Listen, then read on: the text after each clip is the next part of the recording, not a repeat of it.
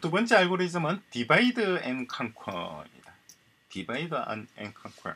이거는 어떤 말이냐니까 복잡한 문제는 단순한 문제 여러 개로 나누라는 거예요.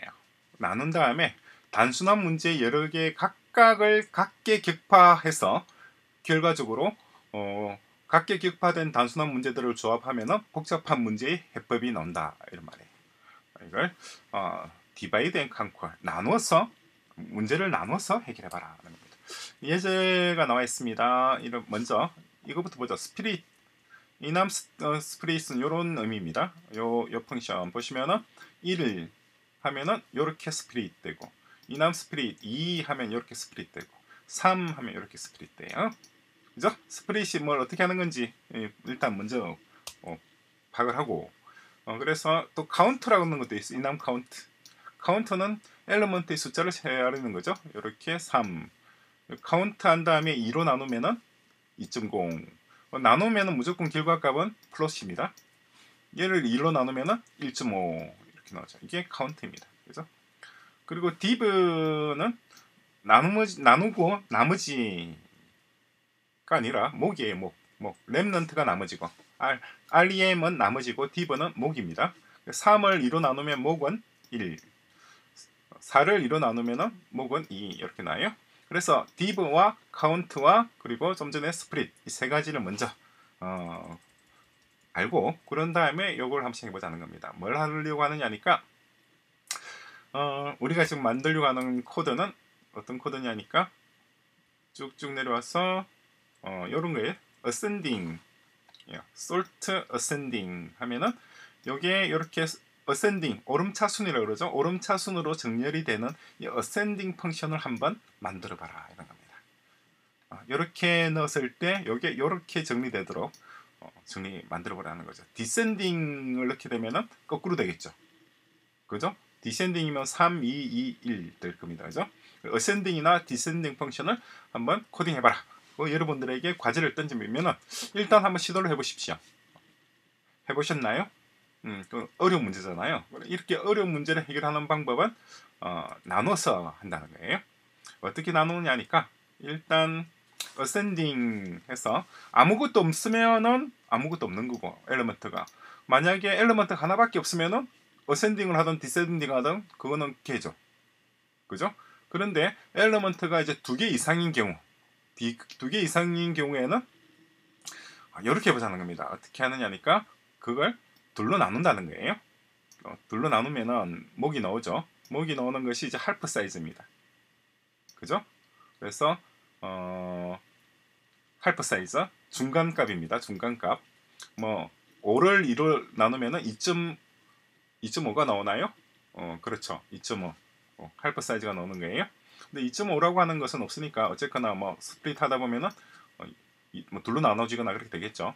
그런 다음에 Enum split해서 리스트를 half size로 나눈다는 겁니다. 그래서 element가 10개가 있으면 5개, 5개짜리 두 개의 리스트로 나눈다는 거죠.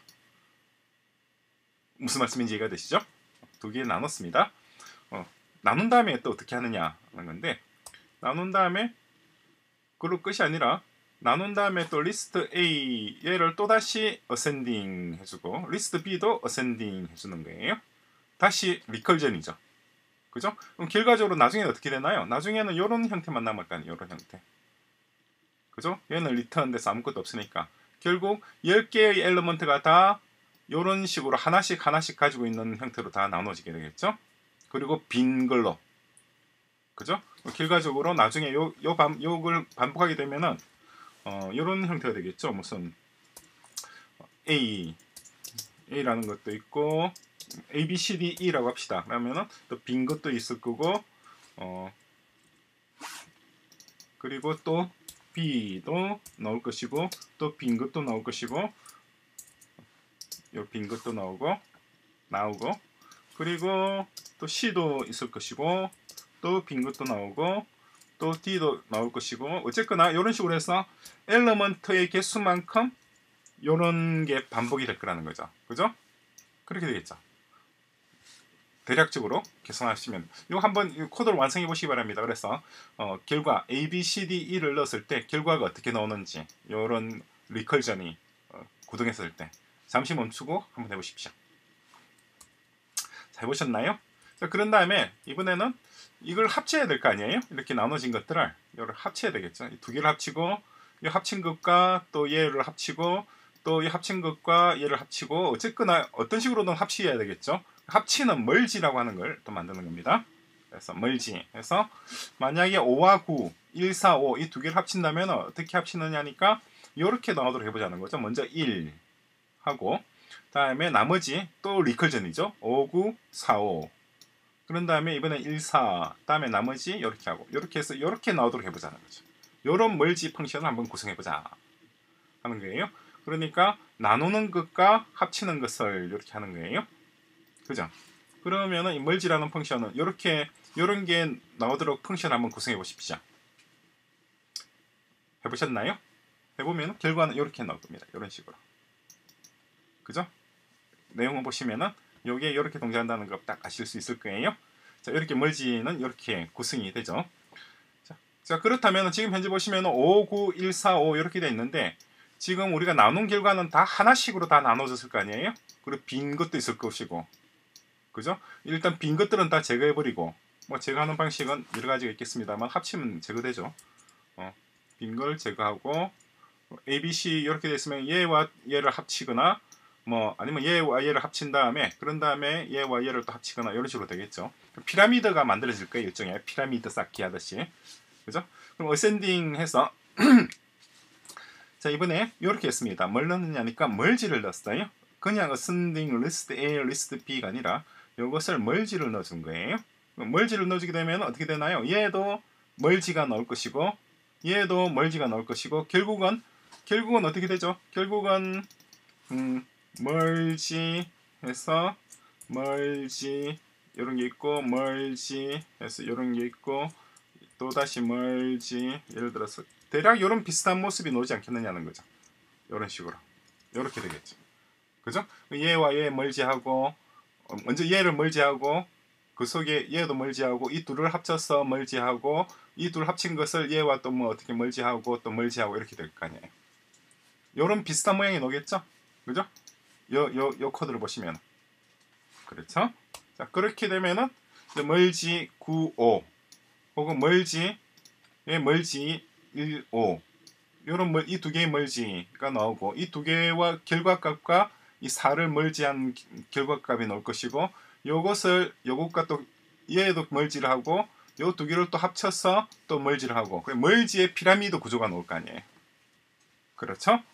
그럼 결과적으로 이렇게 되는 거예요. 얘 둘을 멀지한다면 어떻게 되나요? 얘 두 개 멀지하고 이렇게 되죠.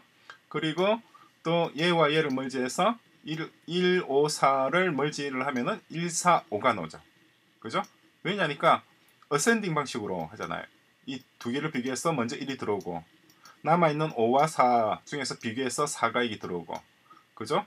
그런 다음에 5가 들어오고 그래서 1, 4, 5에서 얘가 먼저 어센딩 방식으로 정리가 되고 그렇죠? 그런 다음 얘도 5, 9 5, 9와 1, 4, 5를 얘도 ascending 방식으로 정리가 되니까 5가 먼저 오고 다음에 9가 오고 그렇죠? 요렇게 되고 요렇게 되고 결과가 이렇게 나온다는 거죠. 그죠? 이게 코드 완성된 코드입니다. 그래서 A인 경우 A 경우 이렇게 하고 half size 어, div 일단 half size 만들고 그죠?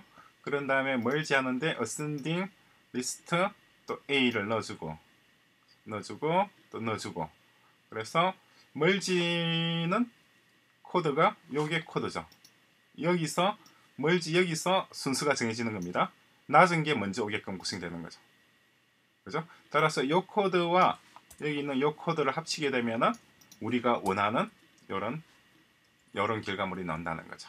요게 divide and conquer라고 하는 방식이에요.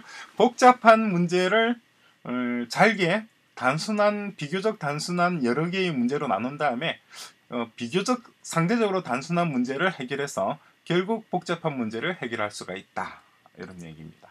아 근데 이거 그렇게 간단한 건 아니죠. 그래서 훈련이 필요하겠죠. 이런 훈련을 언제 할 수 있을까요? 어, 제 생각에는 초등학교 1학년 때부터 하는 게 맞다. 초등학교 1학년 때부터 초등학교 1학년 수준에 맞는 훈련을 하고 초등학교 2학년 때는 2학년 수준에 맞는 훈련을 하고 3학년 때는 또 3학년 수준에 맞는 훈련을 하는 게 맞다는 거예요. 그러다 보면은 중학생쯤 됐을 때는 이런 알고리즘을 자연스럽게 해결할 수 있는 수준에 도달하는 학생들이 100명 중에 한 명은 나올 거라는 거죠. 100명 중에 한 명이면 우리나라에 30만 명의 초등학생 각 학년의 학생이 30만 명이면 어, 매년 3,000명 이상이 어, 3,000명, 3만 30만 명. 그러네요. 100명 중에 한 명이라더라도 매년 3,000명 이상의 중학교 1학년 학생들이 이런 문제들을 자연스럽게 해결할 수 있을 거라는 거예요. 어, 엄청나지 않나요? 어? 엄청나죠. 매년 중학교 1학년 매년 한 해에 들어오는 중학교 1학년으로 신입생으로 받는 학생 수가 30만 명인데 그 중에 3천 명은 이러한 로직을 자연스럽게 해결할 수가 있다. 자연스럽게. 예.